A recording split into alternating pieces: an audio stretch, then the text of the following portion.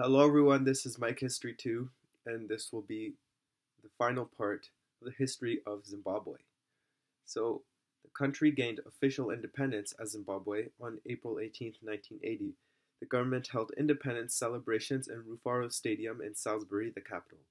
Lord Christopher Soames, the last governor of Southern Rhodesia, watched as Charles, Prince of Wales, gave a farewell salute, and the Rhodesian Signal Corps played God Save the Queen. Mugabe's government changed the capital's name from Salisbury to Harare on April 18, 1982, in celebration of the second anniversary of independence. The new constitution provided for an executive president as head of state, with the prime minister as head of government. Reverend Canaan Banana, and no, I'm not making this up, was the first president. The government then changed the constitution in 1987 to provide for an executive president and abolish the office of prime minister, basically making Mugabe the dictator, and this became official on January 1st, 1988. The Parliament of Zimbabwe had a directly elected House of Assembly and an indirectly elected Senate. Um, and the Constitution established two separate voter rolls one for the African majority, who had 80% of the seats in Parliament, and the other for Europeans and other ethnic minorities, who held 20%. However, the government again changed the constitution in 1986, eliminating the voter rolls and replacing the European seats with seats filled by nominated members. Um, so Prime Minister Mugabe kept Peter Walls the head of the army in his, government, in his government and put him in charge of integrating the Zimbabwe People's Revolutionary Army, or ZIPRA, and the Zimbabwe African National Liberation Army, ZANLA, as well as the Rhodesian Army. Um, now, while Western media outlets praised his efforts at reconciliation with the European minority, tension soon developed. Ethnic division soon came back to the forefront of national politics, and tension between ZAPU and ZANU erupted, with guerrilla activity starting again in Matabeleland in southwest Zimbabwe. In 1982, government security officials found large amounts of arms and ammunition on properties owned by ZAPU, accusing Nkomo and his followers of plotting to overthrow the government. Mugabe fired Nkomo and his friends from the cabinet. As a result of what they saw as persecution of Nkomo and his party, ZAPU supporters and army deserters began a campaign of rebellion against the government, mainly in Matabeleland, the home of the Ndebeles, who were uh, ZAPU's main followers. And this continued until 1987. This included attacks on government personnel and installation, banditry, and disrupting security and economic life in the rural areas. Because of the unsettled security situation immediately after independence and democratic sentiments, government kept in force a state of emergency. This gave the government widespread powers under the Law and Order Maintenance Act, including the right to arrest people without charge, which it used a lot. 1983 to 84, the government declared a curfew in areas of Matabeleland and sent in the army in an attempt to suppress members of the Ndebele people. The pacification campaign, known as the Gukurahundi, or strong wind resulted in at least 20,000 civilian deaths perpetrated by an elite North Korean trained brigade. So ZANU increased its majority in the 1985 elections, winning 67 of the 100 seats. The majority gave Mugabe the opportunity to start making changes to the constitution, including those with regard to land restoration. Fighting did not cease until Mugabe and Nkomo reached an agreement December 1987, whereby ZAPU became a part of ZANU and the government changed the constitution make Mugabe the country's first president and Nkomo one of two vice presidents. Elections in March 1990 resulted in another overwhelming victory for Mugabe and his party, which won 117 of the 120 election seats. However, election observers estimated that only 54% of voters had even come and found the campaign to be neither free nor fair. The general health of the civilian population also began to significantly flounder, by 1997, 25% of the population of Zimbabwe had been infected by the AIDS virus. During the 1990s, students, trade unionists, and workers often protested to express their discontent with the government, and student protests in 1990 against proposals for an increase in government control of universities, and again in 1991 and 1992 caused clashes with the police. Trade unionists and workers also criticized the government during this time. In 1992, police prevented trade unionists from holding anti government protests. In 1994, widespread industrial unrest weakened the economy, and on December 9, 1997, a national strike paralyzed the country. Mugabe was panicked by the demonstrations by Zanla ex soldiers, war veterans, who had been the heart of the, his army 20 years earlier in the Bush War. He agreed to pay them a lot of money, which only further weakened the economy. The discontent with the government spawned uh, excessive government crackdowns, which in turn started to destroy both the state and the society. This in turn brought even more discontent. Although many Europeans had left Zimbabwe after independence, mainly for South Africa, those who remained continued to hold disproportionate control of some sectors of the economy, especially agriculture. In the late 1990s, Europeans accounted for less than 1% of the population, but owned 70% of farmland. Mugabe raised this issue of land ownership by European farmers, and in a calcu- calculated move, he began forcible land redistribution. Amid a severe drought in the region, the police and the military were instructed not to stop the invasion of European owned farms, and this has led to a mass migration of European Zimbabweans out of Zimbabwe and only further worsened the economy.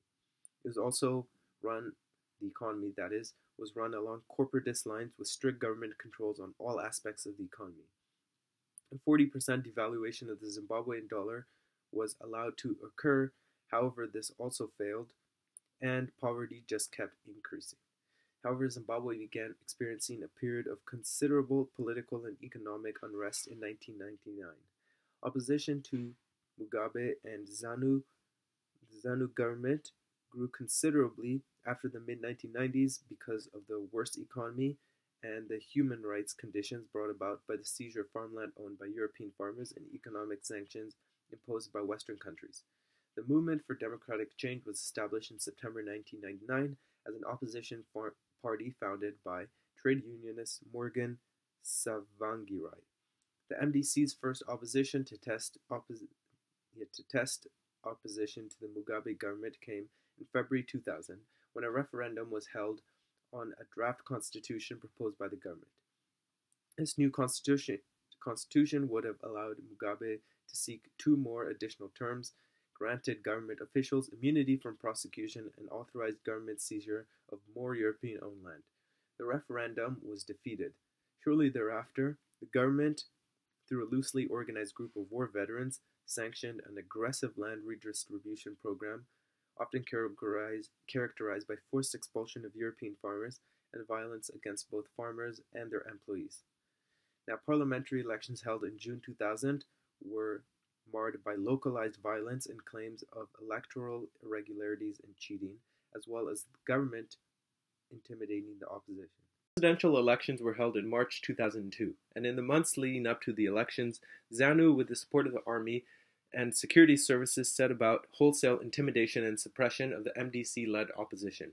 Despite strong international criticism, these measures, along with organized subversion and hacking of the voting, ensured another victory for Mugabe.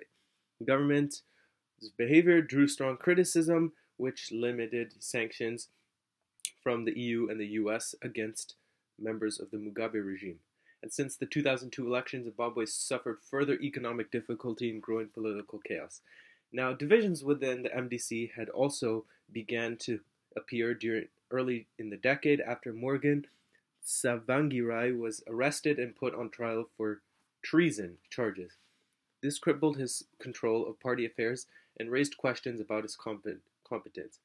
It also catalyzed a major split within the party. In 2004, he was acquitted but not until after suffering serious abuse and mistreatment in prison. The opposing faction was led by Welshman Ncube, who was the general secretary of the party. In mid 2004, vigilantes loyal to Mr. Tsvangirai began attacking members who were mostly loyal to Ncube, climaxing in a September raid on the party's headquarters in which the security director was nearly thrown to his death. Now, divisive as the violence was, it was a debate over the rule of law that set off the party's final breakup in November 2005, and these divisions severely weakened the opposition. Mugabe's political allies were able to weaken the opposition internally, and it was also destabilized externally by using violence in anti Mugabe strongholds to prevent citizens from voting. Some voters were turned away from polling stations even though they had proper identification, further guaranteeing that the government could control the results. Also, Mugabe started to appoint judges sympathetic to the government, making any judicial appeal futile. Mugabe was also able to appoint 30 members of parliament. As Senate elections further uh, approached, opposition splits occurred. Ncube's supporters argued that the MDC should field a slate of candidates, but Tsvangirai wanted a boycott. When they voted on the issue, Ncube's side narrowly won, but Mr. Tsvangirai declared that as president of the party, he didn't have to follow the majority's decision. As a result, the elections for a new Senate in November 2005 were mostly boycotted by the opposition, and Mugabe's party won 24 of the 31 constituencies where elections were held, and once again, very few voters actually showed up because most of them were either rejected or intimidated. In May 2005, the government began Operation Murambatsvina, and its purpose was to punish political opponents. The UN estimates that 700,000 people had been left without jobs or homes as a result. Families and traders, especially at the beginning of the operation, were often given no warning before police destroyed their homes and businesses. Others were able to save some possessions and building materials, but often had nowhere to go, even though the government stated that people should be returning to their rural homes. Thousands of families were left unprotected in the open in the middle of Zimbabwe's winter. The government interfered with NGO efforts to provide emergency assistance in the displaced areas. Some families were also removed to camps where they had no shelter or cooking facilities and almost no food, supplies, or medical assistance. Also, Human Rights Watch said that the evictions had disrupted treatment for people with AIDS in a country where 3,000 die from the disease each week and about 1.3 million children have been orphaned. In September 2005, Mugabe signed constitutional amendments that reinstituted a national senate and nationalized all land. This converted all ownership rights into leases, and the amendments also ended the right of landowners to challenge government, basically theft of land, in the courts, and marked the end of any hope of returning any land that had been grabbed by armed land invasions. Elections for the Senate in November resulted in a victory once again for Mugabe, and the early months of 2006 were once again uh, marked by food shortages and mass hunger. In August 2006, runaway inflation forced the government to replace its existing currency with a revalued one. And in December, ZANU, December 2006, ZANU proposed the harmonization of the parliamentary and presidential election schedules in 2010. However, this was seen as the by the opposition as an excuse to extend Mugabe's term as president until 2010. And remember, at this point, he'd been in power for 30 years. Now, the economy had shrunk by 50% from 2000 to 2007. In September 2007, the inflation rate was almost 8,000%, which was the world's highest. There were frequent power and water outages, and Harare's drinking water became unreliable in 2006. And as a consequence, dysentery and cholera swept the city in December 2006 and January 2007. Unemployment is running at a record 80% now, and there was wide he- widespread hunger manipulated by the government so that wherever most of the people supported the opposition, they would suffer the most. There was almost no bread, and there was poor wheat harvests, and the closure of all bakeries just made this even worse. Now, the country, which used to be one of Africa's richest, became one of its poorest. It was now viewed by many as a failed state, and the government lacked the resources to deal with the ravages of the AIDS pandemic, which affects 25% of the population. Now, it also managed to cling to power by creating wealthy neighborhoods for government ministers and senior parties. Zimbabwe's bakeries shut down in October 2007, and supermarkets warned that they would have no bread for the foreseeable future due to the collapse in wheat production after the seizure of all European owned farms. There was also power shortages and electricity cuts, which affected irrigation and also just made the situation worse. In fact, a lot of the time, Zimbabwe relies on Mozambique for electricity, but sometimes it doesn't supply it due to an unpaid bill of $35 million. Now, the educational system was also once one of the best in Africa, but went into crisis in 2007 because of the country's economic collapse. Also, corruption has crept into the system, and many students who never actually study are deemed excellent in subjects which they never attended. Zimbabwe held another election in 2008 on March 29th, and the three major candidates were President Robert Mugabe, of course, Morgan Tsvangirai and Simba Makoni, who was an independent. However, since none of them reached a majority in the first round, a second round was held. with Tsvangirai winning 47.9% and Mugabe 43.2%. Tsvangirai withdrew from the second round a week before it is scheduled to take place because of violence against his party supporters. Now, the second round went ahead anyways, and despite criticism, led to Mugabe winning once again. Now, because of Zimbabwe's dire economic situation, the election was expected to provide him with his toughest electoral challenge to date. However, once again, Mugabe's supporters just rigged the election, and no officials were, official results were announced for more than a month after the first round. Now, in January 2009, Morgan Tsvangirai announced that he would do as the leaders across Africa had insisted and joined a coalition government as prime minister with Robert Mugabe. On February 11, 2009, he was sworn in as the prime minister of Zimbabwe, and by 2009, inflation had peaked at 500 billion percent per year under the Mugabe government, and the Zimbabwean currency was completely worthless. The opposition shared power with the Mugabe regime between 2009 and 2013, and Zimbabwe switched to using the US dollar as currency, and the economy uh, improved, reaching a growth rate, growth rate sorry, of 10% per year. In 2013, Mugabe won another election, and he continued being corrupt uh, as the economy collapsed and protests took place all across the country. Now, finally, on Wednesday, November 15th, 2017, everyone had had enough, and the military placed him under house arrest and removed him from power. They placed tanks around government buildings in Harare and blocked the main road to the airport. Emmerson Mnangagwa helped to orchestrate the coup, and he had recently been fired by Mr. Mugabe so that his wife could replace him instead.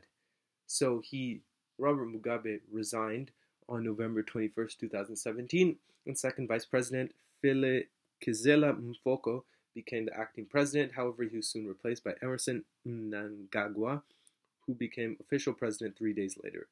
Elections were held on July 30th, 2018, to elect the president and members of both houses of the parliament. Now, once again, ZANU won the majority of seats in parliament, and Emmerson Mnangagwa was declared the winner after receiving 50% of the votes, but once again, the opposition accused him of rigging the vote, which is likely. And in subsequent riots by MDC supporters, the army opened fire and killed three people, while three others died of their injuries the next day. Finally, in January 2019, following a 130% increase in the price of fuel, thousands of Zimbabweans protested, and the government responded with a crackdown that resulted in hundreds of arrests and multiple deaths. So, yeah, basically, Zimbabwe right now sucks. Anyways, I hope you, I guess, enjoyed it. Don't forget to like and subscribe and share. See you next time.